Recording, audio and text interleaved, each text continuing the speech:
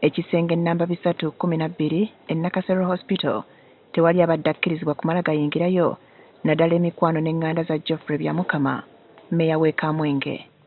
Byamukama agaanye okwogerako naffe ku kamera ng'atya nti by'anaayogera byandyongera okumuteeka mu buzibu. Kigambibwa nti poliisi ye yaleeta byamukama wano ng'embeera ye embi ddala.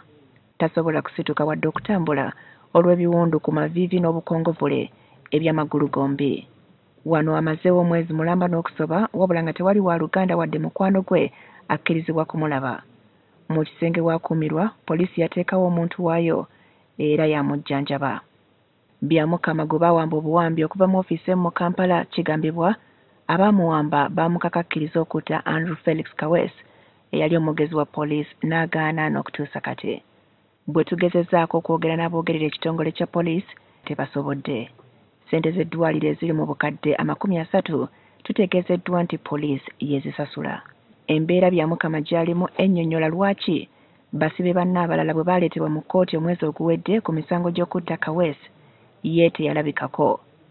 Ensonda enneekusifu zitegeezezza nti byamukama yakwatibwa mu kampala abasajja baali mu ngoye eza bulijjo mu biseera nga kaweesi yakattibwa ng'ennaku z'omwezi kumi na musanvu omwezi gwa maaci baamutwala mu kkomera ly'e nalufeenya gye yatulugunyizibwa ensonga ya byamukama y'emu ku ezo eziteeseza poliisi ku nninga naddala mu by'okutulugunya abasibe